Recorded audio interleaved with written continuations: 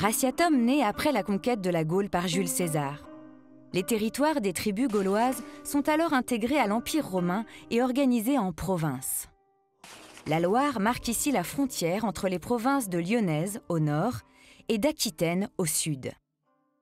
Au nord, la tribu des Namnettes a pour capitale Condévicnum, Nantes. Au sud, nous sommes chez les Pictons, à 200 km de leur capitale Limonum, Poitiers. Sur la rive sud de la Loire, ils fondent le port de Raciatum. Ce port profite comme Condévicnum d'une situation idéale, à la croisée des voies fluviales, maritimes et routières. Lorsque les Pictons s'y installent, ils aménagent un réseau de rues parallèles et perpendiculaires qui structure le développement de la ville. On connaît partiellement l'organisation de cette ville antique. Au sud, des artisans se sont installés à la périphérie de la ville. À l'ouest se trouvent les domus. Ces grandes demeures urbaines se distinguent des autres habitations de la ville, sans doute plus modestes.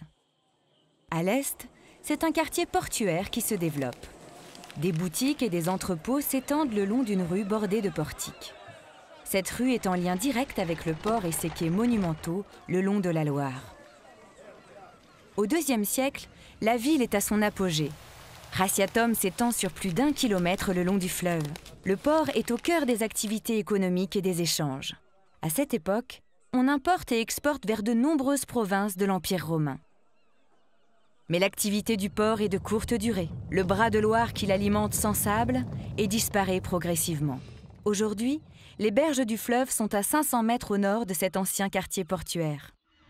Le déclin du port marque la fin du développement de Raciatum, malgré la présence d'un évêque et d'une importante basilique chrétienne au début du Moyen Âge.